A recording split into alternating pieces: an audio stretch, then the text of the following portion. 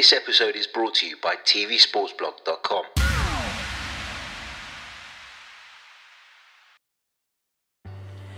Hello and welcome back to another edition of the podcast with me, Harry Symeou. And as always, I'm joined by a fantastic guest. This fantastic guest has played for a number of football clubs. He's played for Manchester City, he's played for Leeds, he's played for Chelsea, he's played for the Republic of Ireland. I'm really pleased to announce Terry Phelan's back. How you doing, mate?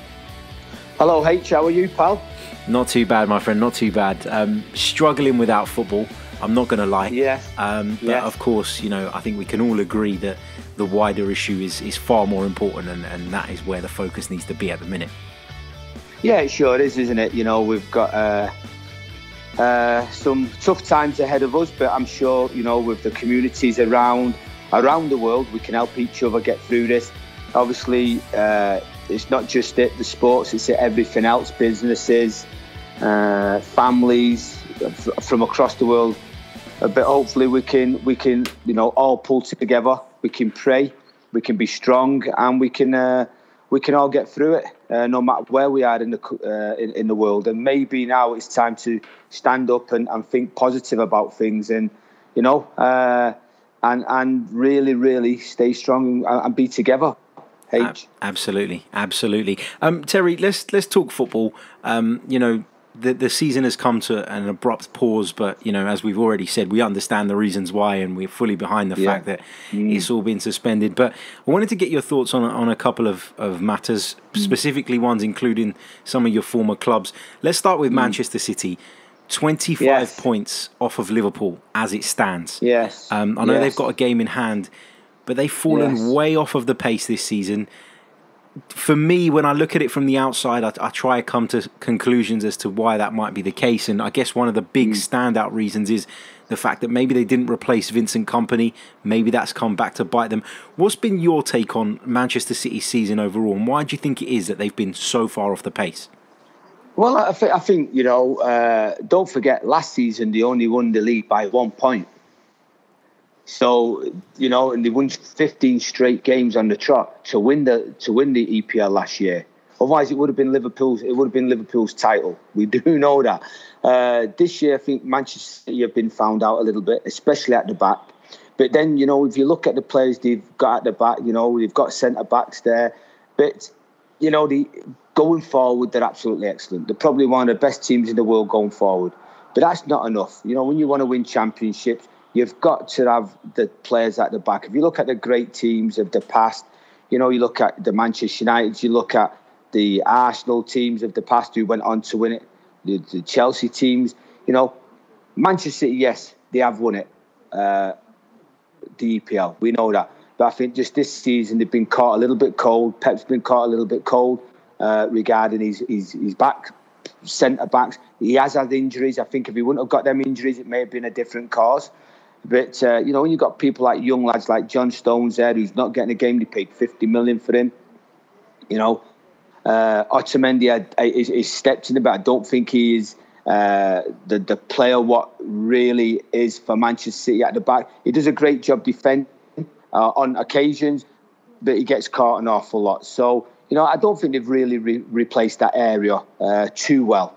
You know, but uh, on a on another uh, note, H, they've had terrible injuries and all that in that area. Absolutely, at, yeah. the wrong at the at the wrong time. So I, you can't blame Pep for that. You know, then you think about what centre backs are about. How much is it going to cost? You know, they're already in trouble uh, a little bit with the fair play. How how how much is there? How much is about? You know, do, do- you know, is he going to spend 150 million, 120 million on a centre back?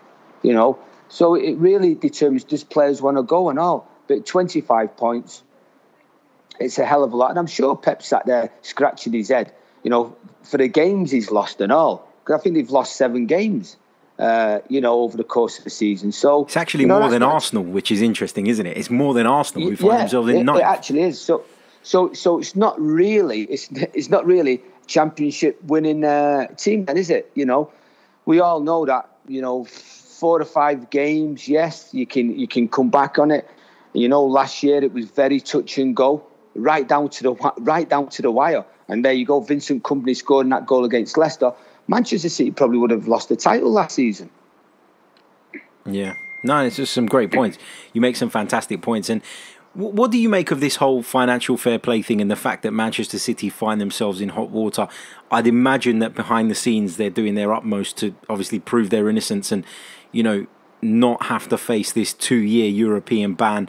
My feeling is that it won't be upheld fully. I think that maybe they'll get away with a year, um, you know, providing they can provide the right information. But mm. I feel mm. like and you know, I'm not saying that they haven't broken any rules or that they have because I don't categorically know, but mm. I feel like UEFA are trying to make an example of somebody because their, their their financial fair play thing has kind of been made a bit of a mockery of in recent years. Well, it sure has. You know, we, if we, you know, obviously we can't look too much into the Manchester City affairs. You know, I know people will have their own views and say, yeah, they should be banned for. Uh, uh, two years, they should be fined 50 million, they should be this, should be that. Just because somebody's come in and invested in the club and made it, you know, a better place for supporters to come, a better stadium, better, better academy for players to grow through. And, you know, they're trying to get the best players to win things, you know. But if they have stepped over the mark we don't know about, then obviously uh, you know, UEFA is going to come in and, and, and they're going to they're going to cop. I think Manchester City have been under the, the scope for a while, man. When you look at teams like PSG, you know, I'm sure they've spent the money. Barcelona, I'm sure Real Madrid, but I think Manchester City have been under the, the, the microscope a lot longer than these teams, maybe way back to 2011. Uh, I know Arsene Wenger was uh, having a little uh, moan up about it uh, because he couldn't spend money and they was out spending money, and we should be watching Manchester City because they're overspending, you know. And I think that maybe, maybe they've been made a little bit of a scapegoat, if I can say that. And that that's that's not coming. That's not saying that it's. I'm, I'm a former Manchester City player or a, you know a Manchester City fan maybe maybe they, maybe they just have. Maybe they're just like now. Hang on a minute, we'll make them the scapegoats, and uh, we'll see what happens. But I think if a, a, a, club like Manchester City is thrown out of the competition uh, for two years, then there's two things. What would be good for Manchester City if it happen, if, if it did happen? They could concentrate on a couple of things and go ahead and win them. Yeah, okay. Absolutely. On the neg on, on, on, on a negative thing, you know, it's not good then if you want to get players in and, and, and for the fans. You need, you need European football uh, in a big club like Manchester City. And then do the players stay or do they leave? You know, are we're going to have mercenaries who get up and just leave because maybe they do get banned. Or we're going to say, see these players stay, fight through it, and, and, and get on with it. We don't know yet. Uh, we don't know what's going behind the doors at Manchester City. I'm sure they've got the right people in the right places to sort it out. Yeah, agreed. And, and and I always say this to sort of my friends and to colleagues when we're discussing this. I find it very hard to believe that they won't have you know all the processes and the ball rolling mm. uh, to try and mm. clear their name. And I'm I'm sure that yeah. at minimum this ban will be reduced um, I, I, think that's going to be the case anyway. Um, Terry, moving on to some of your other former clubs, and I was just looking at the list actually before I called you, and you, my God, there's a lot of clubs. A, list as a list as long as a, a street in Salford, I believe. indeed, indeed. I've never been to Salford, but I can imagine. Um, so, just looking at some of these clubs, I'm not going to pull you up on every single no, club that you've no, ever no, played for. Um, but Leeds United, of course, oh, where yes. where you started, you know, they're Yes. Very close to sealing promotion back up to the Premier League. They had a little bit of a dip a few weeks ago. Yes. Uh, maybe a yes. couple of months ago now, where it looked yeah. like perhaps they were falling off the rails. But Marcelo Bielsa seems to have got them back on track. And there's mm. one player in particular that I want to ask you about, and that is Patrick Bamford. Because yes. I do quite a lot of work on Leeds United at the moment, and I've been yeah. following them yeah. very closely this season. And it seems to me like whatever Patrick Bamford does, the fans just don't appreciate him. I, I, I don't get that. I don't understand the negativity towards him. Can you see where they're coming from when they complain about his goal return? Well, I mean, he's been about, hasn't he, Patrick? He, you know, he's he's you know he's been here, he's been there, he's had a, he's had a few clubs himself. Uh, to tell the truth, I haven't watched him. I haven't watched him a lot. I haven't watched Leeds a lot.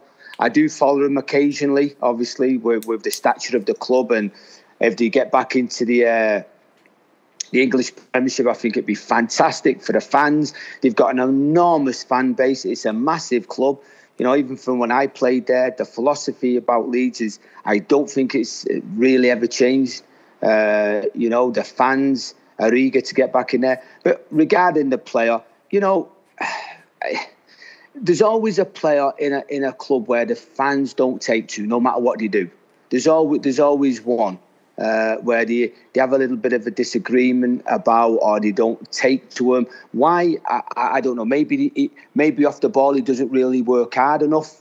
You know, uh, when times are really tough, when you have to go to a really tough place, maybe he doesn't really work hard enough off the off the ball. But the manager is supporting him, so he must be doing something right while he's in the team. Agreed, and you know, and, and that's the thing, isn't he, it? Yeah, his goal ratio might not be the greatest, but if he's helping out the fans have got to appreciate if the manager's playing him in that that team uh, for some unknown reason. Maybe the manager have got the manager's got nobody else to put in there. He's his only choice. You know, we know he's got the qualities, but you know, support him. You know, support the, the player. He's only a human being. Support him. Get behind him because if they go up, he'll be part of that team. What's what's got him into the uh, the EPL. So uh, I don't really know, but there's a, there's a, Harry. There's always one player in every club who, who always get a little bit of stick off the uh, the fans, and it's it all it'll always happen for some unknown reasons. We don't know why. No, absolutely, and and his goal return isn't probably what it should be for a centre forward at the top of the championship. Yes. But it, yes. you're absolutely right when you say he must be doing something right because Marcelo Bielsa has stuck with this guy through thick and thin. He's obviously very important yeah. to his system and to his way of playing because he yes. took Eddie Nketiah on loan from Arsenal didn't play him. Yeah. He preferred Bamford, and even when Bamford wasn't scoring goals, he he still clearly values the type of player that Patrick Bamford is, and feels well, that he plays a vital role. Well, listen, you know, and this is where fans. This is where fans, you know, oh, I won't be too critical of fans because they're, they're the ones who are there. They're the ones who are spending the money. They have their opinion, like everybody else has their opinion. But they've got to look at the finer details in his play. You know, what does he do off the ball? Does he close players down? Does he shift centre backs out of areas to allow other players to run into them areas? You know, does he hold the ball up and just lay it off and get in the box? You know, but he must be doing something why the manager's got him in there. And as a as a as a centre forward and all, as his leading centre forward, there must be something why the manager's got him in there. And the manager only know that. If, if he's not playing well, then the manager wouldn't have him in there in the, in the first place. So he must be doing something well. So I say to the Leeds fans, get behind the lad, support the lad, and uh, hopefully, you know, they can all go into the uh, the English Premiership uh, together. Agreed, agreed. And uh, you know, I, am not a particularly, you know, well, I'm not a Leeds fan, um, but obviously, when you see big clubs like that, you know that they belong in the top oh. flight. Oh. And so I'd be happy to see them promoted. I think that's really important for the English game as well to have another giant in the Premier yeah, League again I, is huge. Yeah, I think Harry the the the English Championship is the hardest league in the league, in the in the world. It's got to be. You look at the teams what are down there. I've, I know I, I played in that, and it was with Fulham, uh, obviously with Leeds back in the day, uh, with Crystal Palace. Uh, you know, it's a tough old, it's a tough old, it's a tough, tough old league. And you know, to get out of that is it's tough. And if Leeds can get out of that and cement themselves back in the uh, English Premiership, it'd be, I think it'd be fantastic. And I, I, hope it does happen. Me too. Me too. Um, Terry, another one of your former clubs is Chelsea. Um, oh yes. What have you made of Frank Lampard's first season in charge? From my perspective, he started the season with absolutely zero pressure because there was the transfer ban. There was this mm. acceptance, mm. wasn't there, amongst the fans mm. that he was going to go down the approach of developing mm. the youth. Yeah. They fought, ta- uh, you know, they, they fought really, really difficult to, uh, really hard, I should say, to overturn that transfer ban. And yeah. then yeah. they didn't do any business. Did that, in your opinion, add pressure back onto Frank Lampard? And, and how have you, you know, seen well, I've, this first season? I, I think as soon as Frank walked through the door, he was under pressure straight away. He was under pressure. Uh, he, he, he must have been under pressure. You know, obviously the fans love him. Super Frank's coming back. But I take my hat off to his assistant, Jody Morris. Frank's gone in there. He knew that there was a transfer uh, ban on him, uh, two years. but he had a nucleus, like we've just like you just said, he had a nucleus of players who he believed could go into that Chelsea team and play. And I think it's done Frank the world of good. Yeah, I know they've lost a, a lot of games at home. I understand that.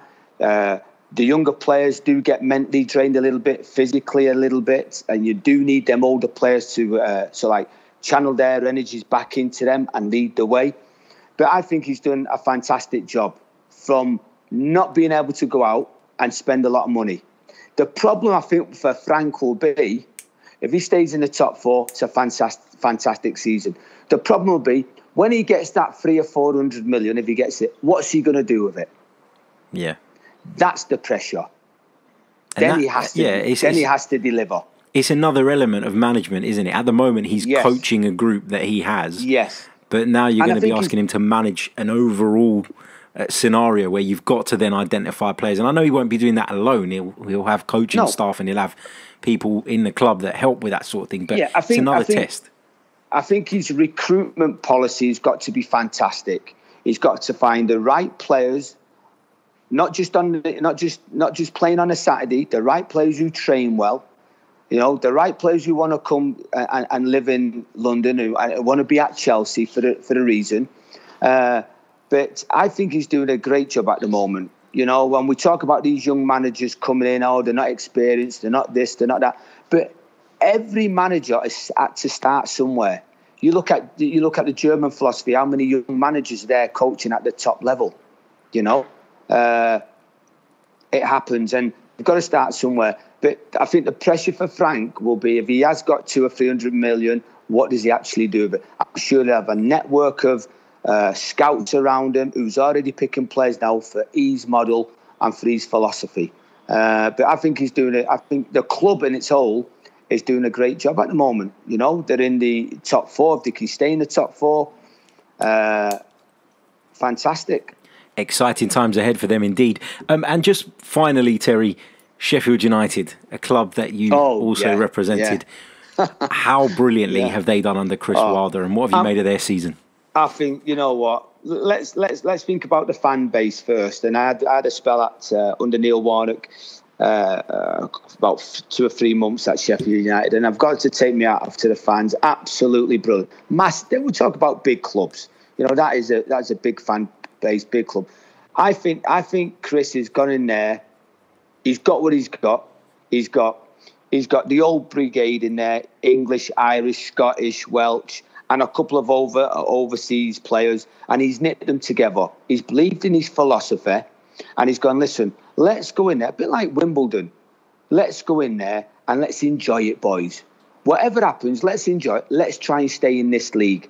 We're going to lose games, but we're going to win a, a majority of games at home. I think he's done a great job. But you know, when he's looking at other teams and they've got superstars sat on the bench, I'm sure he pulls his hair out when he looks across and he goes, "Oh, we're playing Chelsea today. They've got all the superstars, and I'm on. I've got a group of lads who have knitted together. Uh, we believe in the cohesiveness within the team and the, the, the, the club is absolute. You can you can smell it, you can breathe it. I think he's done a fantastic job, and hats off to him with what he's got. No disrespect to any of them players, because they're playing a style of football which suits them and is winning them games. A little bit like Burnley, what Burnley are doing. Uh, a little bit like what Bournemouth was doing in the early stages when they come in. You know, and I think he's done a, a, wonderful job, and may it continue for him. You know, hope they don't have second season syndrome where it all goes, you know, a bit pear shaped, um, and then players see the stars and they want to go to other teams. If he can add to that, staying there, gets a little bit of money, add one or two players into that uh, team, they should be all right, Sheffield United. Agreed. And for me, hands down, manager of the season, without question, Chris Wilder. Oh, yes. for me. Oh, yes. Imagine if he gets them into Europe. It would be incredible. It, it, that would hey. be an incredible achievement in their first season. And I went to Bramall Lane this season when they played Arsenal, and I, you know, was taken aback by how sort of traditional and the stadium is, and I was in the away end, and you can almost reach yeah. out and touch the net of the goal. Like that's yes. how close you yeah. are. Incredible atmosphere. Yeah. Really one of Great the most place. It's, it is. I'm getting goose pimples thinking about the place because I played there, and I think the fans was great. You know, the and and they've done, I mean, listen, they've they've they've come a long way, and like we said about you know going back to Leeds United and other teams who have who have dropped down and come back. I just hope now Sheffield United can stay up there and and, and really work hard. And you know, uh, if Leeds get up there, then you've got another big Yorkshire derby, haven't you? Exactly. And and just finally, you mentioned Neil Warnock there. Is he mm. as hmm. crazy in the in the flesh as he uh, oh, as he seems? lovely man. You know, Neil. I, I, I went there and lovely man. Different personality than anybody, uh, any manager I've ever seen, and you know, he just wanted you to work hard. And if you didn't respect that, you got a rollicking off him. But for me, it was he, had his ways, uh, but he got the best out of players. You know, and he expected the older players to really get onto the the younger players and work them. And I think he's had a fantastic. Uh, uh, career as Neil. I don't. I think he's. I think he's only 25 young, isn't he? if you if, if, you're listening, Neil. But no, I think he's. He, you know, he he helped me out well. He gave me three months to get myself fit at Sheffield United. I never had any problems. It was a great time. He had people like Keith Curle there and all who helped him. So, so for me, I, you know, I, I learned a lot off Neil, just the way he was in the training, what he wanted out of training. You know, training was fierce, it was tough, it was hard. You know, he, he was always on the training field pushing you. Uh, but then he give you the time to relax as a player, you know, uh, and pop round to his house and maybe watch uh, the video of the game and give you a rollick in his house. So that, was that was Neil. But then come back to you and say, "Hey, lad, have a beer. It's on me." Fantastic bloke, and uh, uh, hopefully he uh, keeps doing well. Yeah, agreed. And and it, it, I could just imagine. Can you imagine turning up at Neil Warnock's house knowing that you're going to get a rollicking? it's like stepping well, the, the, across well, enemy lines. You, you, yeah, but uh, you, uh, but it's just, he's a one-off, isn't it? You know, he's a one-off, and you know you need people like that in the game. And uh, for for me, he, he did get the you know he, he made players and all. Don't forget the the players who went to big clubs and all. Uh, so for me, yeah, he was he was great. He helped me out for that three months, and I, I fully enjoyed it. Brilliant stuff, Terry. Thank you so much for your time, mate. I know you're really, really busy, so we really do appreciate it. Well, I'm I'm I'm, I'm kicking the toilet roll around like everybody else on these videos. I've only I, I, think Jamie Carragher did one keep up. I've done a half keep up at the, this present time. I so, think I'm going to uh, give it a go tonight. I think I'll give it a go. I'll, yeah, yeah, I'll get the I'll get the lads. So we're all housebound, but uh, God bless. May everybody be healthy, stay well, and we, and all our communities come together and we, you know, we stick together now. When it's if it if it does pass over, you know, we start appreciating the finer details of life. Agreed. Agreed. Thank you so much, Terry, and we'll Thank speak you, soon. H. All the best. Thanks, mate. Bye bye. Bye bye. This episode is brought to you by TVSportsblog.com.